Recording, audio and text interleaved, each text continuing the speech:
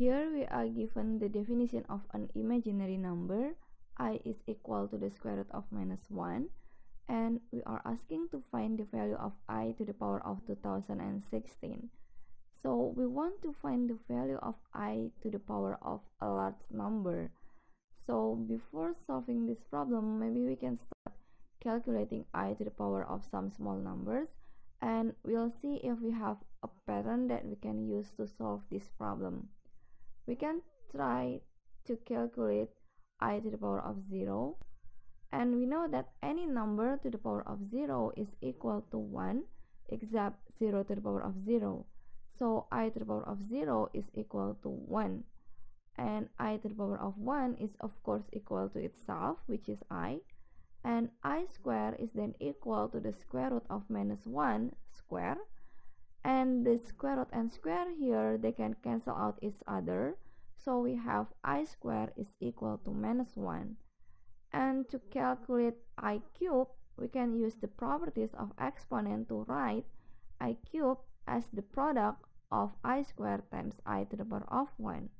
And since i square is equal to minus 1, so we have i cube is equal to minus 1 times i, which is equal to minus i.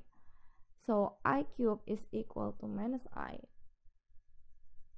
And using the properties of exponent we can say that i to the power of 4 as the product of i square and i square and since i square is equal to minus 1 then i to the power of 4 is equal to minus 1 times minus 1 which is equal to 1 and from this result we can see that i to the power of 4 has the same result as i to the power of 0 and we can say that the result is starting to repeat.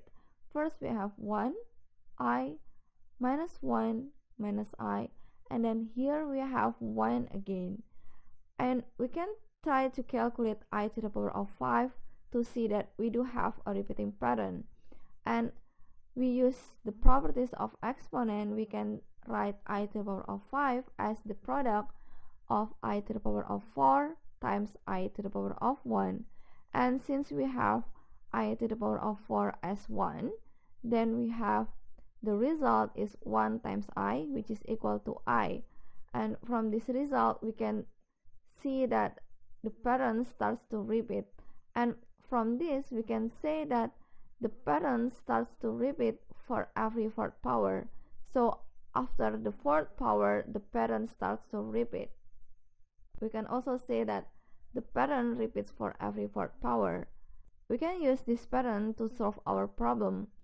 Since we want to calculate i to the power of 2016 and we know that the pattern repeats for every fourth power and we can divide 2016 by 4 and we know 2016 divided by 4 is 504 without any remainder or with zero remainder. And this zero remainder is telling us that the result of i to the power of 2016 is equal to i to the power of 0 so the result is equal to 1 so the answer for this problem is C and using this pattern, we can find the value of i to the power of any number with